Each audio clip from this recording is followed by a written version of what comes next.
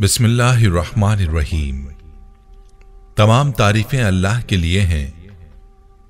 वही नेक लोगों का वली है। मैं गवाही देता हूँ कि अल्लाह के सिवा कोई भी माबूद बरहक नहीं। वो यकता है। उसका कोई शरीक नहीं। और मैं ये भी गवाही देता हूँ कि हमारे नबी मोहम्मद सल्लल्लाहु अलैहि वसल्लम अल्लाह के बंदे और उसके रसूल हैं। या अल्लाह, इन पर इनकी आल और तमाम साहबा किराम पर रहमतें, सलामती और बरकतें नाजिल फरमा। अस्सलाम वालेकुम इस्लामिक टीचर के प्यारे दोस्तों, मेरी बहनों और मेरे प्यारे भाइयों।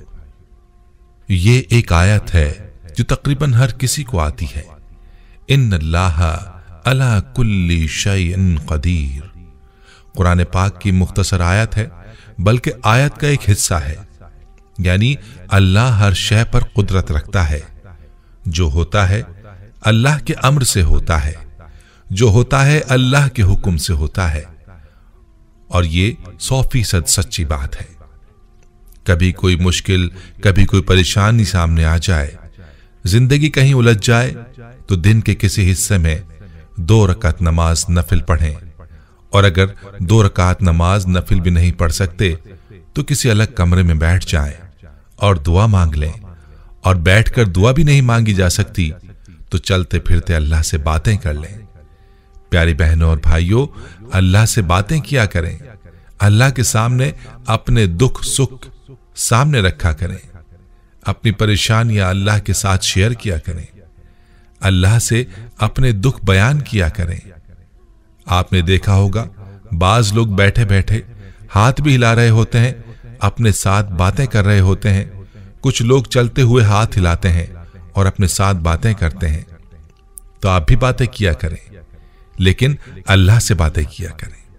अल्लाह को अपना दुख सुनाया करें। अल्लाह को बैठकर अपना गम सुनाया करें। अल्लाह को अपने दुखड़े सुनाया करें। या अल्लाह, सारी दुनिया को सुनाऊँगा, मज़ाक बन जाऊँगा। ऐ अल्लाह, सारी दुनिया को सुनाऊँगा, तमाशा बन जाऊँगा। ऐ अल्लाह, दुनिया सुनेगी, पता नहीं क्या करेगी। ए अल्लाह, कुछ लोग गमजदा भी होते हैं, लेकिन दुनिया वालों के सामने बहुत ज़िक्र करके देखा। अब तुझी से बयान कर रहा हूँ। ए अल्लाह, सारी दुनिया को सुनाया, आज अपने गम तुझे सुना रहा हूँ।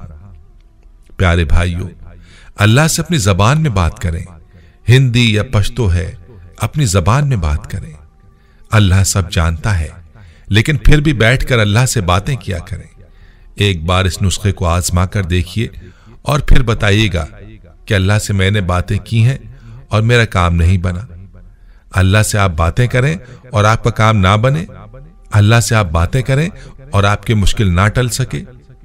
अल्लाह से बातें करें और आपके मसाइल हल ना हो। अल्लाह से बातें करें और मंजिल आसान ना हुई हो तो यह हो ही नहीं सकता। हर तरफ़ से मायूस हो चुके हैं। कोई रास्ता बाकी नहीं बचा। तो ये रास्ता इख्तियार करें और अल्लाह से बातें करें।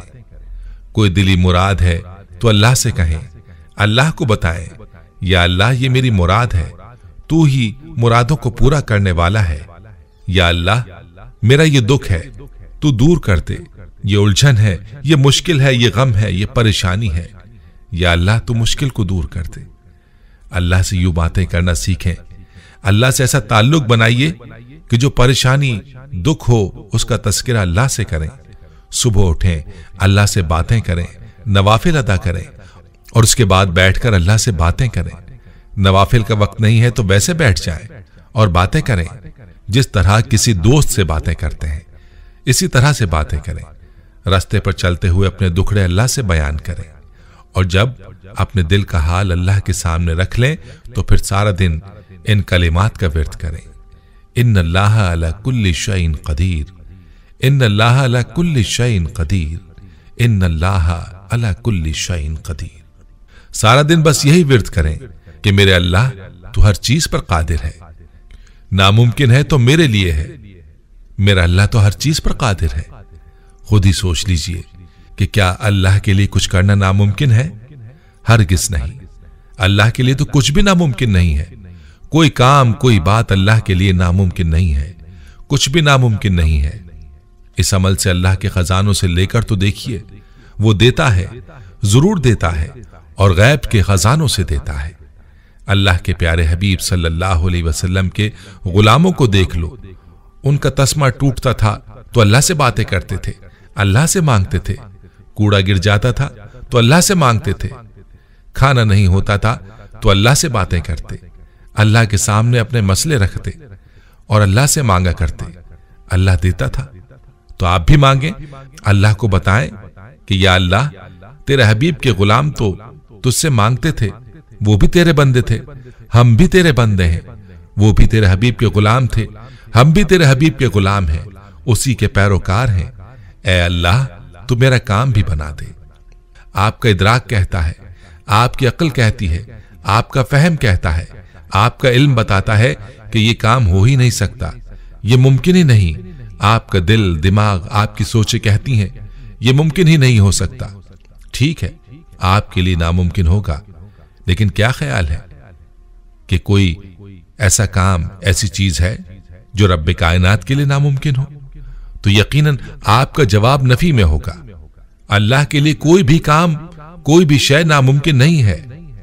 इसीलिए पूरे यकीन के साथ अपनी मुरादें, अपनी मुश्किलात और अपने मसाइल अल्लाह के सामने रखें और फिर यही कलिमात पढ़ें। इस यकीन से पढ़ें कि अल्लाह के लिए हर चीज़ मुमकिन है और वो आपके लिए आपकी मुराद को मुमकिन कर देगा। इन अल्लाह अला कुल्ल कदीर।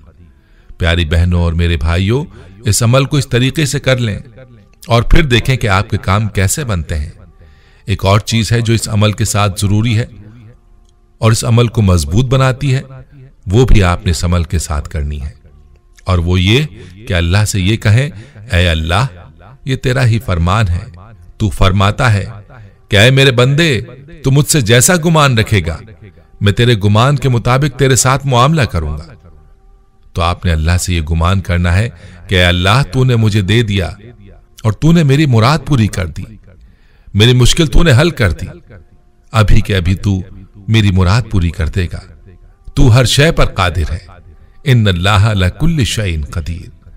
और जितना पुख्ता आपका गुमान होगा, जितना पुख्ता आपका यकीन होगा, उतनी जल्द आपके लिए रास्ते खुलेंगे। उतनी जल्द आपके लिए अल्लाह की तरफ़ से फैसले होंगे। अल्लाह से इस गुमान के साथ मांगे कि वो दे रहा है। उसने दे दिया, बल्कि आपका काम बन गया। याद रहे कि अल्लाह सच्चा है, उसका वादा सच्चा है। उसका हबीब सच्चा है और मेरे हबीब, मेरे आका सल्लल्लाहु अलैहि वसल्लम का फरमान सच्चा है। लिहाजा ये गुमान रखें कि आपने जो अल्लाह से बातें की हैं, जो मुनाजात की, जो मांगा, वो आपको मिल गया और इन कलिमात का विरद भी इसी गुमान के साथ करें, इसी यकीन के साथ सारा दिन ये कलिमात पढ़ें। इन अल्लाह अला कुल्ली शईन कदीर। सारा दिन पढ़ते रहें। और खुद ही सोचें कि जब आप अल्लाह से सारा दिन ये कहेंगे कि अः अल्लाह, तू हर चीज़ पर कादिर है, तू मेरा भी काम बना दे। अल्लाह, तुझसे ये गुमान है कि तेरे लिए कुछ भी नामुमकिन नहीं। तू मेरे लिए, मेरे काम को मुमकिन बना दे।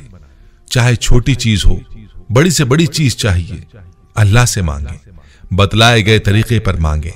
और फिर आपने मुझे वापस आकर इसी वीडियो के कमेंट्स में बताना है कि आपने ऐसा ही किया। और आपके साथ क्या मामला हुआ? और आखिर में गुजारिश है कि अपने लिए मांगे, अपनी औलाद के लिए मांगे, जो जी चाहे मांगे। लेकिन सबसे पहले अल्लाह से कामिल ईमान मांगे, कामिल अखलाक मांगे और बाद में दुनिया मांगे। ऐसा ना हो कि दुनिया तो मांग लें और वो मिल जाए, लेकिन बगैर ईमान वाली मिल जाए। इससे पहले ईमान मांगे, बाद में दुनिया मांगे।